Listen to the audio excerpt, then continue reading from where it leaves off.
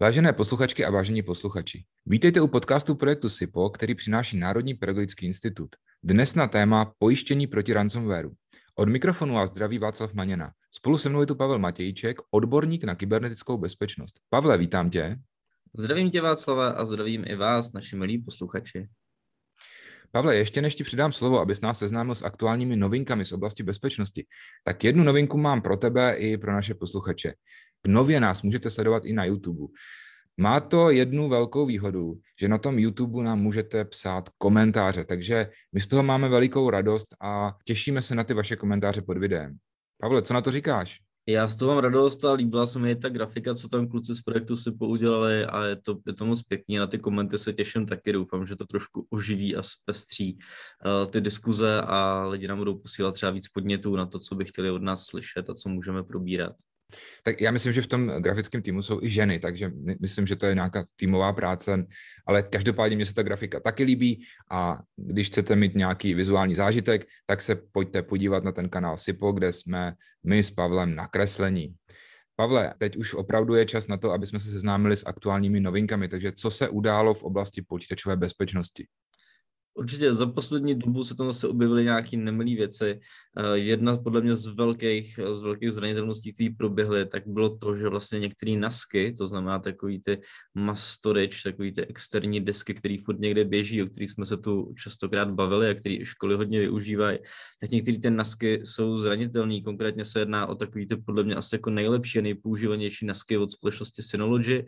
Jsou děraví už nějakou delší dobu a bohužel se to týká i těch nejnovějších modelů takže tyhle, ty, tyhle ty nasky trpěly na zranitelnost uh, v OpenSSL, a díky tomu mohlo bohužel docházet k nějakému zdálnému spouštění kódu cizího na těch vašich naskách, anebo k tomu, že vznikl takzvaný DOS útok, to znamená nějaký odepření služby, omezení přístupu, že se se k těm datům prostě nemohli dostat, že ta naska byla přetížená.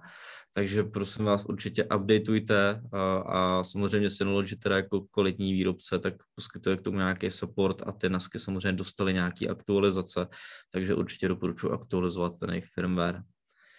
Další věc, eh, tak Microsoft teďka vlastně varoval před velkýma phishingovými kampaněma, ve velkém se útočníci teďka zase rozjeli, eh, asi to úplně přímo teda nesouvisí se začátkem školního roku, nicméně asi vytušil, že je takový hektičtější období na konci těch prázdnin a tak se toho rozhodli využít, protože lidi už nebudou tolik ostražitý a je tady spousta phishingových kampaní, které vlastně lákají nebo snaží se vylákat z těch lidí nějaký přihlašovací údaje. Eh, je docela nebezpečný, že to nechodí třeba z nějaký jedný, dvou, třech domén, jak někdy bývá zvykem, ale odesílá se to z víc než 350 různých domén, z nich spousta je freewareových, to znamená různý jako seznamy, gmaily a další jako různý takovýhle e-mailový nebo freemailový služby. Takže spousta spam filtrů to nechytá takže bohužel je to takový, že vám ten e-mail jako projde do schránky přes jako nějakou snahu těch antispamových řešení a je pak na vás, abyste to odhalili. Takže dávejte si pozor na podvodný e-maily, neklikejte na něco, co vám přijde podezřelý a nepřihlašujte se na žádné divné stránky. No a poslední věc se týká taky Microsoftu a musím říct, že bohužel, protože my už jsme se tady párkrát bavili o tom, že vlastně spousta škol vlastně a dalších institucí migruje do cloudu a spousta z nich přešla do Microsoft Azure Cloudu, ale v něm byla teďka objevena obrovská chyba, eh, která zneužívá, takzvaná chyba jako Chaos DB, která vlastně zneužívá chybu eh, s vyzrazením tajného klíče v Cosmos DB databáze. A opravdu jako tisíce firm, včetně těch největších, tak bylo to s chybou zasaženo, jejich databáze se dostaly ven, to znamená líkly, bylo možné se k něm dostat k těm jejich datům. A je to asi největší cloudový průšvih, který tady zatím byl teďka objevený za poslední dobu, takže zase Microsoft svý zákaz zákazníky varoval, posílal nějaký e-maily s postupem, co by se mělo dělat, takže zkontrolujte mailboxy a pokud používáte Cosmos DB, tak určitě najdete spoustu různých návodů, jak tohle to fixnout. Pavle, já ti moc děkuju a přeci jenom na tom YouTube máme teďka hodně nových posluchačů, tak já bych pro vás eh, nové posluchače ještě připomněl, že všechny tyhle věci, o kterých se tady bavíme a které vám mohou připadat, že jsou jako složité, že tam toho je hodně těch informací, tak doplňující informace a všechny další podrobnosti najdete v našem e-learningu, který je pro učitele dostupný zdarma. Odkaz na e-learning najdete v popisu tohoto videa. A tím jsme se dostali k našemu hlavnímu tématu a to je pojištění proti ransomwareu, což eh, aspoň já, jak to pozoruju, tak je opravdu velice aktuální téma. Myslím, že je čím dál aktuálnější prostě těch škol, které se setkaly s ransomwarem, s nějakými útoky hackerskými, hlavně třeba přes prázdniny, tak eh, přibývá a není to vždycky jenom eh, problém z hlediska technického, ale někdy možná třeba tu školu i může napadnout, že by se chtěla proti těmto útokům sjednat pojištění. Takže prosím tě, eh, já si myslím, že je to pořád eh, taková docela jako novinka na trhu. Máš už nějaké eh, zkušenosti třeba z reálného nasazení a o co se teda vlastně jedná? Přímo osobně jsem se s tím nikdy ještě nesetkal, nicméně mám pár známých v několika firmách, kteří už tohle využívají. Uh, mám jednoho kamaráda, u kterého ve firmě došlo k napadení ransomwarem a tam jim to pojištění pomohlo pokryt a měli s tím dobrou zkušenost a je to vlastně jedna z věcí, o kterých se tady jako budeme bavit, že to pokrývá i nějaký následné věci. Uh, možná bych jako začal tím, že jako je docela fajn, že ty pojišťovny se tomu začínají přizpůsobovat, jo? že se si řekneme na rovnu, že třeba státní zpráva s tou digitalizací není ještě úplně daleko. Naštěstí soukromí firmy se jakoby vrhly do toho sektoru a je fajn, že se už teďka myslí vlastně i na nějaký pojištění kybernetických rizik. Ono se to brzo asi rozroste nejenom o to pojištění proti ransomwareu, ale už jsem viděl i takový jako nápad, že ty se mají rozšiřovat o nějaký jako jiný typy, jako únik dat, GDPR, prostě další věci, takže nejde vyloženě jenom o ransomware, jo? dá se prostě pojistit, myslím si, že dokonce uh, kooperativa to má přímo pojmenovaně jako pojištění právě kybernetických rizik a týká se právě i GDPR a dalších věcí. Takže i vlastně třeba ty jako pověřenec by se se o něco takového mohl zajímat, protože vlastně v momentě, kdyby vám jako utekly nějaký data, byli jste za to popotahovaný, měli byste třeba nějakou pokutu prostě, nebo měli byste nějakou, řekněme, jako negativní mediální pozornost a chtěli byste ji jako odvrátit nebo to nějak uhladit, tak ono to vlastně pomáhá krýt i náklady eh, třeba na tu medializaci a další věci. Moc děkuju, proto jsem se právě ptal na to, jestli máš nějakou osobní zkušenost a strašně rád teda slyším aspoň o tom kamarádovi, protože, jak říkám, je to úplně jako novinka a moc rád slyším o tom, že někomu to skutečně pomohlo a ta pojišťovna mu to jako vyplatila, protože já, když jsem se o to zajímal jako pověřenec třeba, tak to byla veliká novinka a v podstatě to pojištění bylo strašně vysoké a věnovali se mu jenom takové ty jako největší, největší pojišťovny, ale ta tam měsíční platba třeba byla úplně jako nereálná. Takže uh, jsem rád, že se z toho stává takový jako, řekněme, běžněji dostupný produkt. Ono to právě pokládá všechny takové jako náklady na tu mimořádnou událost, to znamená klidně na nějaký to PR, který je pak potřeba jako vyprodukovat nějaký články, jo, potřebujete uklidnit tu veřejnost, že se jako něco stalo a chcete to nějak jako srovnat, že je to vlastně jako v pořádku, ale hlavně to pokrývá prostě i jakoby nějaký náklady na nějaký externí IT firmy nebo na nějaký znalce, který vám s tím pomůžou, jo. Takže, že jo, klasicky prostě je tady několik firm v republice, vlastně Martin Haleden, náš kamarád, o kterém jsme tady párkrát už mluvili, má firmu, která se obývá přímo tím, že vlastně jakoby dávají do pořádku ty firmy po té uh, vlastně po infiltraci tím ransomwarem, jo. jsou jako specializovaný přímo na tuhle činnost. A vlastně tyhle ty náklady s těmi specializovanými firmama a s těmi, s těmi expertama, ti s tím zabývat, ti to pomůže pokrýt. Což samozřejmě tyhle ty lidi, jich je málo, ta práce je náročná samozřejmě si to jako nechají zaplatit, samozřejmě jako oprávněně prostě, ale jako samozřejmě to vyjde líp, zaplatit nějaký výkupný, ale i tak se jako pak ve finále jedná jako řekněme vysokou částku a je super, že tohle se ti to pomůže pokrýt. A ono to pak samozřejmě i pokrývá nějaký jako předušení toho provozu, nějakou ztrátu, která ti vznikne s tím, že třeba tam nemocnice v Benešově, o který víme, jako že to byl takový asi nejvíc medializovaný průšvih, tak vlastně tam to bylo odstavený zhruba tři týdny a ta škoda byla 56 milionů korun. Jo, takže představte si, jako jo, máte školu, dobře, tam to tak jako třeba nemusí jít do takových milionů, ale jako nějaká výrobní firma nebo něco jiného, i když třeba nemocnice taky jako není výrobka, jo, tak se tam bylo jako 56 mega škola, eh, škoda. U té školy to bude samozřejmě asi jako o něco nižší, ale zase tam bude problém jako s, s tou negativní pozorností. Teďka ty média to budou vnímat, bude se řešit, jako co uteklo, prostě teďka ty žáci, naštvaný rodiče, že jo, a tak to prostě nechcete. No. A nějakou dobu ta škola, podle toho, jak mají vyřešený zálohy, bude mimo provoz prostě, protože jo, než se vrátí člověk k tužce, k papíru, tak to nějakou dobu může trvat. A vlastně tohle by to mělo všechno jako pokrýt. No. Plus to pak pokrývá samozřejmě nějaký ty náklady na obnovu těch dat a těch systémů, jo, což taky jako nejsou třeba pak malé částky. Že? I v té škole sice, jak říkáš, nejde třeba o takovéhle miliony, i když tu školu to bolí hodně, když se třeba odstaví eh, ty systémy na dva týdny. Eh, zvlášť třeba, já nevím, v období, kdy se dělá matrika a tak dále. Eh, ale vstupuje tam strašně moc dat, jako těch třeba i rodičů, žáků, takže uh, tohle je opravdu, bych řekl, srovnatelné třeba s tou nemocnicí, pokud jde o únik těch dat. A kolikrát třeba i uh, máme nějaké citlivé zdravotní údaje u těch žáků. Takže uh, tohle opravdu není možné brát na lehkou váhu. No a teď si představ, že by tu školu dal třeba někdo k soudu, že jo, ještě za to. Jo, to prostě taky jako nebude hezký. A to pojištění třeba právě pomáhá pokrývat i nějaké jako právní zastoupení, nějaký náklady na tu obranu. Jo, ne pak samozřejmě nějaký vyplácení pokut, to už teda jako nepokrývá tu pokutu, nebo třeba platbu výkupního, to nepokrývá, to můžeme říct taky rovnou, jo, na to jsem taky už jednou někdo ptal. Uh, to pojištění neslouží k tomu, abyste zaplatili prostě půl bitcoinu těm útočníkům. Jo. A taky vám to nezaplatí tu pokutu za to, že jste na to GDPR kašlali a to zabezpečení prostě nebylo jako udělání tak, jak být mělo. Takže pokud prostě nějaký orgán zjistí, že prostě jste jste nezajistili, co jste měli, dostanete pokutu, s tím vám to pojištění už nepomůže. Jo? To už pak vlastně jsou jenom jako důsledky toho, řekněme, jako nedobrýho jednání. Ale vlastně proti těm věcem jako nějaký právní zastoupení a náklady na nějakou obranu prostě toho dobrýho jména, tak to se tam pokrývá. No. No, to jsem hrozně rád, že jsi to řekl, protože já mám ty zkušenosti jako reálné z terénu, že k těm soudům, nebo aspoň třeba k vyhrožování, ale i reálně k těm soudům často dochází. A netýká se to vždycky jenom třeba soukromých škol, ale eh, může se to týkat eh, často i státní školy, kde třeba ten rodič je nějak naštvaný nebo něco a, a chce to prostě řešit rovnou soudem. Přesně tak. Takže si říkal, že není pojištěno to, to výkupné. Já se tady neodpustím jednu otázku.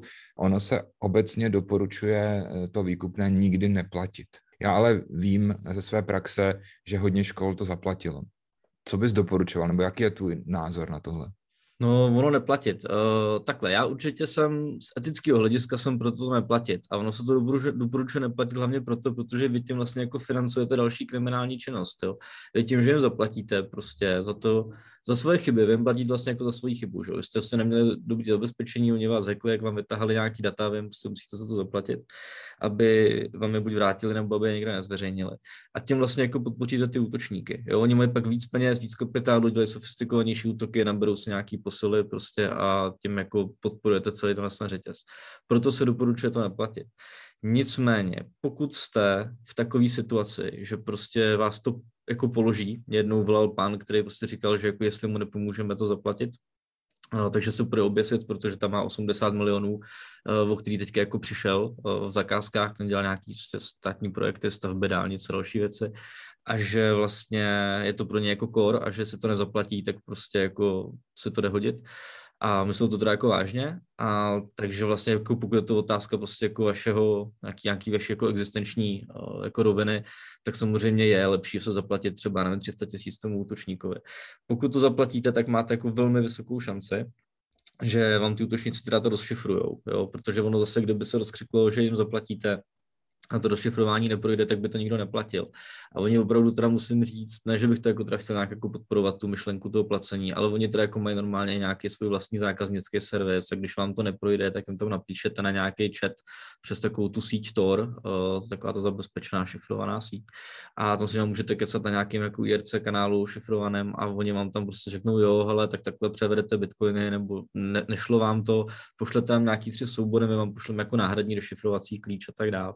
Takže jako jo, dá se s těmi útočníkama komunikovat, dokonce právě ten kamarád Martin, tak ten zrovna jako má i nějaký články o tom, jak s těmi útočníkama smlouval za toho zákazníka a pokusil jsem vyhádat jako nižší cenu a se to povedlo, prostě dostal se jako řádově níž prostě a tak dále. Takže jako s těmi útočníkama se dá normálně komunikovat, dá se tam jako sjednat jako i nižší cena prostě nebo něco podobného ale obecně, hlavně eh, z těch, řekněme, etických aspektů se doporučuje neplatit, ale zažil jsem jako opravdu případ, abych to jenom nechválil, kdy vlastně ty lidi zaplatili a nedostali nic a nikdo s nimi nekomunikoval. Jo, prostě jenom je odstřihli a nazdar. Z toho, co povídáš, tak eh, mě ale vyplývá, že když už bych se rozhodl zaplatit jako škola, že by určitě bylo dobré tím pověřit, tím jednáním s těmi útočníky nějakého takového odborníka, jak hmm. se to zmiňoval. Určitě. Napadají mě k tomu ještě dvě věci. Není to náhodou jako třeba s nevyžádanou poštou, že ty v momentě, kdy teda zaplatíš, tak eh, vlastně ukazuje, že jsi jako schopný, že ty peníze máš, že jsi schopný zaplatit. A není to teda náhodou tak, že se ty útočníci jakoby vrátí? Nebo máš s tím nějaký takovýhle zkušenosti? No já s tím zkušenosti asi jako ze všech směrů, protože já jsem těch zákazníků takhle jako zažil x a dostal jsem se jako ke všem různým, jako asi nebo ke všem, ke spoustě různých scénářů. Vlastně ano, měl jsem zákazníky, který prostě jako byli hacknutý, nebo byly to lidi, co byli hacknutý a útočníkem slíbil a vyloženě jako pak jako se řekl, jo, hele, my vás dáváme teďka na něco jako na whitelist a prostě už vás jako hackovat nebudem. Nicméně o dva roky později se hackla jiná skupina Jo. Takže vlastně třeba ten útočník vám jako slíbí, fajn, ale tak jste nám zaplatili, dobrý, uh, teď se teda asi pravděpodobně zabezpečíte, protože ty útočníci vlastně jako ví, že, jo, že když jim to jako jednou zaplatíte, tak asi uděláte většinou nějaký kroky prostě proti tomu, aby se to nestalo, takže by to pak měli těžší, jo, a vlastně nechtějí plácat ten svůj čas a tu svou energii na to, aby se dostali do nějakého zabezpečenějšího systému a radši půjdu po dalších jako rybách, které nejsou zabezpečený vůbec. Takže on vám jako řekne, jo, my vás dáváme na whitelist a my se vás teďka starat nebudeme. Uh, nicméně chytne vás jako jiná grupa, ta vás zašifruje, že o žádném jako waitlistu jiný skupiny neví. Jo. Oproti tomu jsou ty zákazníci, který prostě jako to má zaplatili, nikdo se s nimi nebavil, zaplatili to a za půl roku byli heknutí znova vlastně a tou samou cestou, jo, protože ten zákazník prostě řekl, jo, tak jsme to zaplatili dobrý, a nevím, uděláme to, koupíme prostě jako lepší antivirový řešení, ale to, že právě někde byly děravý nějaký starý nasky, který prostě 8 let nikdo neupdateoval, tak to tam prostě bylo furt, jo, a to, že ty nasky byly prostě propojený s ADčkem a další věci a byly tam slabý hesla, tak to ten zákazník nevyřešil. A za půl roku byl hacknutý znova, tou samou skupinou, možná i tím samým ransomwarem, jestli si dobře pamatuju, jo, takže záleží, no. No a druhá věc, co mě právě napadá, je to opravdu tak, že oni ti prostě zašifrují data u tebe? Eh, a nebo spíše taková praxe, že si třeba část těch dat jakoby vezmou k sobě. Jo, když to teda šifrou, tak si to ukradnou. A ty data, i když zaplatíš, tak prostě ten útočník má někde u sebe a může třeba dál zveřejnit. Tohle abych se třeba strašně moc bál. Je to obvyklá praxe, nebo, nebo je to zbytečná obava? No, jak říkáš, B je správně, bych řekl teďka. A vlastně obvyklá praxe to až poslední dobou. Uh, ono právě dřív to bylo tak, že ty útočníci vás zašifrovali a chtěli nějaký peníze za to rozšifrování těch dat. Tak samozřejmě ono už ten ransomware je s náma plácnu třeba sedm let, jo, prostě, nebo jako pět let je tady určitě jako dost aktivní, prostě, jo. A za tu dobu se lidi naučili zálohovat, jo. takže tu věc, co měli umět už dávno, jak se naučili v těch posledních pěti letech a lidi řekli, hele, fajn, tak budeme zálohovat. A samozřejmě těm útočníkům stačilo negativně jako projevovat na, těch, na tom jejich biznesu, protože to je pro ně biznes jako každý jiný. A zjistili vlastně, že čím dál tím zákazníků nebo čím dál tím víc obětí jim říká, hele, my vlastně nic platit nebudeme, protože máme zálohy a je nám to vlastně jedno, že jste nás řekli. My teďka prostě během jednoho, dvou dnů obnovíme zálohy a za dva dny jsme tam, kde jsme byli před týdnem a je nám to vlastně jako fuk, přišli jsme o týden práce. To nám nevadí tolik, jako kdyby jsme měli platit někde teďka jeden bitcoin. Jo. A došlo k tomu, že ty útočníci si teda řekli, hele fajn, tak uděláme to jinak. A začali dělat to, co říkáš ty, začali dělat takzvanou tu exfiltraci dat. Takže dochází k tomu, že vás ty útočníci hacknou, vysosají vám ty data, ideálně nějakým jako nenápadným způsobem, aby to třeba jako nechytli nějaký jako pokročilejší sondy, ale zase, jak vždycky říkáme, to školství a ty nemocnice jako takovéhle věci úplně nemají implementované, takže tam vám prostě vytahají ty data nějakým způsobem, nechají se u sebe a když vy jim řeknete, hele, my máme zálohy, my splatit nebudeme, řeknou, no jo, ale my máme ty vaše data. A jestli nám nezaplatíte, tak my ty vaše data zveřejníme a rovnou k tomu i předávají poslední dobou takové hlášky typu jako pošleme to novinářům, anebo to prodáme konkurenci. Tak škol se ta konkurence slolik netýká, ale to, že to pošlou do novin a opravdu jako oni jsou schopní se skontaktovat s nějakou lokální českou grupou a pošlou to prostě na nějaký mailing list nějakých českých novinářů a jako věřte tomu, že ty se toho rádi chytějí. Takže vlastně tam pak jako platíte za to, že oni vás neprozradí. Plus samozřejmě vám hrozí pokuta od úřadu eh, pro ochranu osobních údajů, protože jste povinný to hlásit. Ale spousta firm se snaží jako to třeba nenahlásit, to jako ututlat, že jo, prostě v momentě, kdyby se to dostalo ven, tak se ta pokuta k ním jako dostane, že ty osobní údaje neochránili. Takže tak, no. Eh, je ještě něco, co teda tohleto pojištění třeba nepokrývá, na co bychom si měli dát pozor, když ho sjednáváme, tak jsme si řekli, že vlastně nejde z něj platit výkupné, nejde z něj platit různé pokuty. A je tam ještě něco, co jako, na co bychom si měli prostě dát pozor?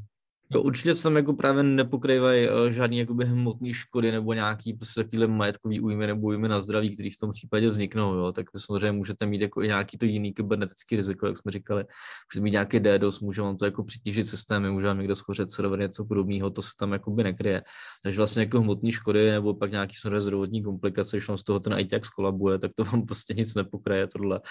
Opravdu se tam kryjou hlavně ty věci, co se týkají vlastně těch nákladů na tu revitalizaci, na tu obnovu, nějaký, to, nějaký ty experty, kteří vlastně pomůžou na nějaké to předušení eh, toho výpadku té sítě, pak na nějakou tu obnovu těch datasystémů, co se jako pokrývá, nepokrývají se nějaký právě eh, třeba jako ušlý zisky se nepokrývají, eh, nepokrývají se ty sankce, třeba zákonný, nepokrývá se to, to výkupný. No. To jsou věci, které se nekryjou.